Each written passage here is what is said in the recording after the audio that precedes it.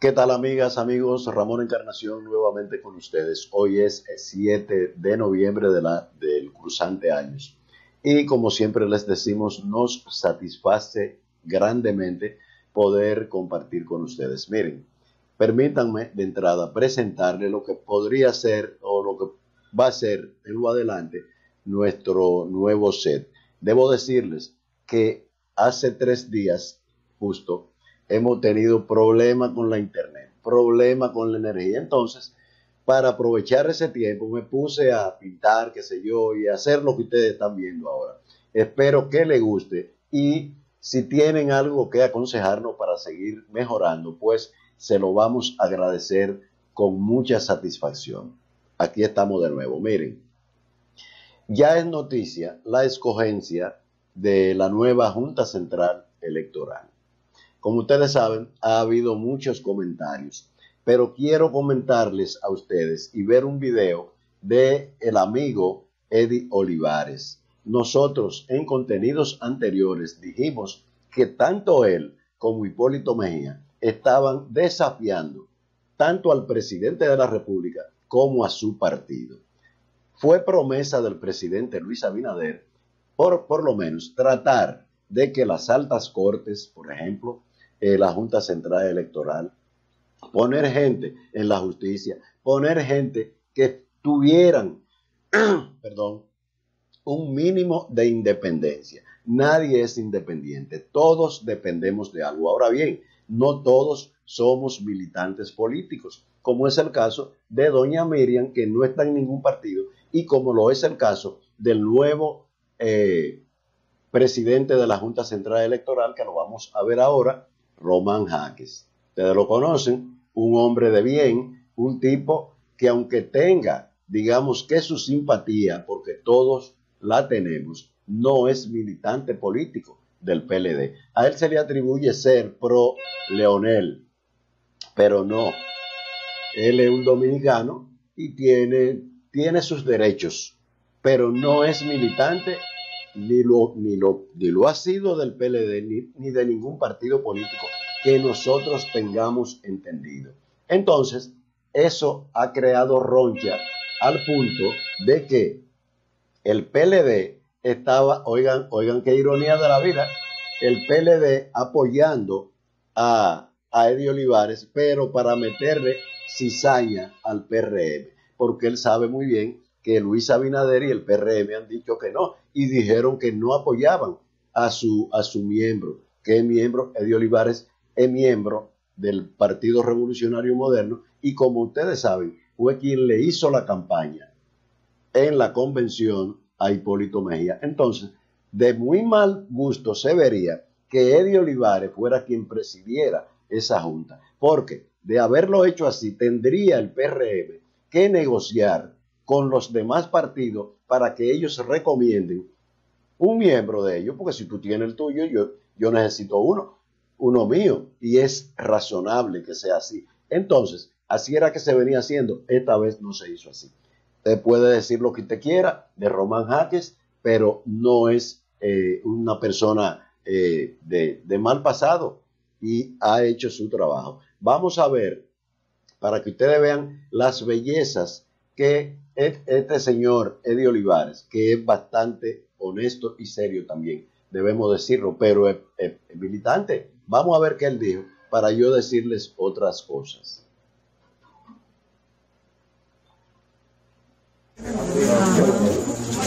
Muchas gracias a ustedes,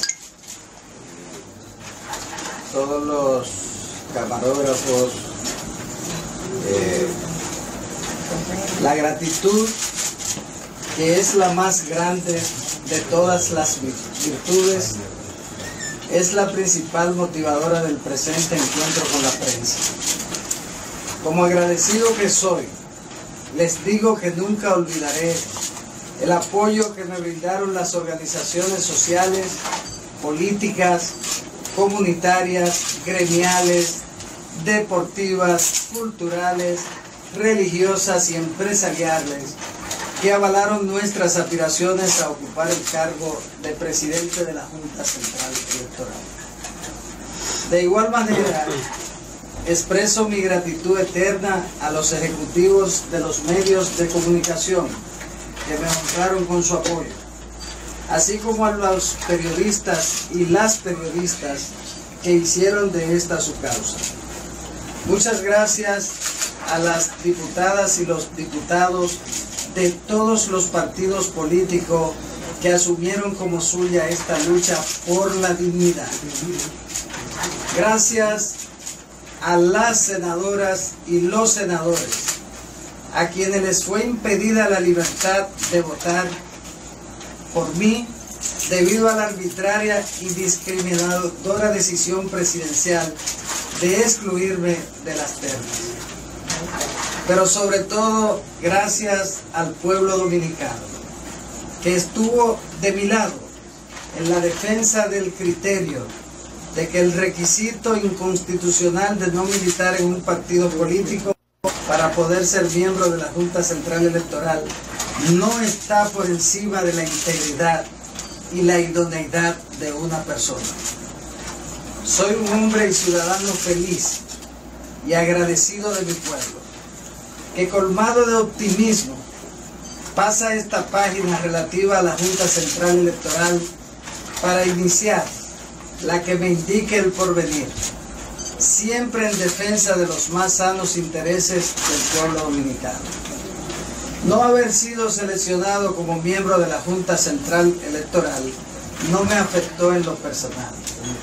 El apoyo de la sociedad ha sido el mayor y más noble triunfo que pude haber alcanzado en esta jornada. Nunca he estado obsesionado con ser presidente de la Junta Central Electoral ni con ningún otro cargo público. Lo que sí me preocupa es el grave daño que la infame intromisión, vista por todos, del Poder Ejecutivo en las funciones del Senado de la República le ha causado a la institucionalidad democrática. Nada me ha decepcionado, pero me preocupa como dirigente y ciudadano que rodara por el suelo a causa de un incorrecto compromiso la promesa del Partido Revolucionario Moderno y del presidente de la República de gobernar con el más estricto apego a la institucionalidad democrática. No obstante, albergo la esperanza de que nuestros gobernantes superen la cultura personalista del jefismo, implantada por las dictaduras. Bien, miren, Eddie Olivares acusa directamente a Luis Abinader, el Poder Ejecutivo Luis Abinader, de interferir, pero que él lo sabía, para que no fuera escogido por lo que explicamos antes. Entonces, ustedes oyeron lo que dice, él no está conforme. Y nos imaginamos que tampoco Hipólito Mejía. Ahora, un consejo a Hipólito Mejía. Él debió decirle a su pupilo que esa no era la línea del partido pero Hipólito Mejía es así. Siempre quiere como eh, estar en primer orden y, y buscando protagonismo. Pero me alegro mucho que esto haya acontecido porque como brazo político del PRM, del, del, gobierno, el PRM, tiene que mostrar que tiene autoridad partidaria. Y Eddie Olivares no debió aspirar ya, porque demasiado capacidad tiene él para ocupar otro puesto puede ser la misma Cámara de Cuentas, que si aspiraba ahí, lo iban a escoger, porque es un hombre del gobierno. Pero se equivocó ahí, lamentablemente, con todo el respeto que nos merece. Se dejó dar una cuerda de Hipólito Mejía e insistió. Miren ahí la consecuencia. Lamentablemente, lamentamos esa situación, porque un partido en el gobierno no debe estar en desarmonía, que la hay por esa situación. Hipólito Mejía debe estar eh, el guapazo de Gurabo porque no fue complacido, que bastante complacido ha sido por Luis Abinader con los nombramientos habido, habidos en el gobierno. ¿Qué más quiere? ¿Llevar desasosiego al partido? No, se equivocó de nuevo el señor Hipólito Mejía, como siempre se vive equivocando. Señores, miren, hablándole nuevamente del nuevo set, espero su comentario y sus recomendaciones. Miren, a su derecha van a ver o ven un título de unos cuantos que obtuvimos en nuestra vida activa y vida de joven, una placa que nos ganamos de unas composiciones en el gordo de la semana. A la, a la izquierda vemos a la derecha, a mi derecha, una placa que nos concedió YouTube cuando obtuvimos los 100 mil suscriptores y unos cuantos libros para no cargar tanto la espalda. Así es que esperamos su comentario. Miren, hagan su comentario al respecto de lo que estuvimos hablando de la Junta Central Electoral. Permítanme decirle, miren, no sé si ustedes recuerdan esta situación que se dio. Román Jaques, siendo hasta hace unos días presidente del Tribunal Superior Electoral, fueron capaces los peledeístas de en Abraham Lincoln pararlo, oigan, a un funcionario de esta categoría, un juez, digamos, quitarle la escolta, porque ellos no estaban conforme con una decisión que él tomó muy justa en cuanto al PRD. O, no me acuerdo si al PRD o el asunto de, de los de, del arrastre de los jueces. Y este señor Ramón Ajo Peralta se le apareció en el despacho amenazantemente a este señor para que cuando se habló de que esa decisión iba a ser la que se iba a tomar, le dijo que eso podría traerle consecuencias y que se tuviera cuidado, porque el gobierno no estaba conforme con eso, hasta eso. Entonces, ¿qué quiere decir? Que este señor, Román Jaques, no coge presión y eso es lo que se necesita. El PLD picado, Hipólito picado, Olivares picado, seguro, por esta decisión, pero allá ellos. Esa fue la decisión y el PRM hizo lo que tenía que hacer. Señores, ahora sí, eh, hagan sus comentarios. Si no estás suscrito a este canal, suscríbete para que contenidos como estos te sean notificados. Cuando te suscribas, activa la campanita para que te, se te sean notificados nuestros contenidos y humildes videos y tú puedas ser parte del debate. Será pues...